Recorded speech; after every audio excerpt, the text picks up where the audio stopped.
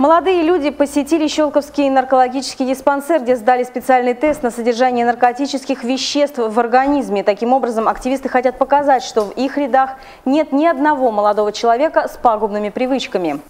За здоровый образ жизни, за здоровую нацию. Вот. Мы хотим, чтобы наша молодежь привлекалась к таким мероприятиям почаще.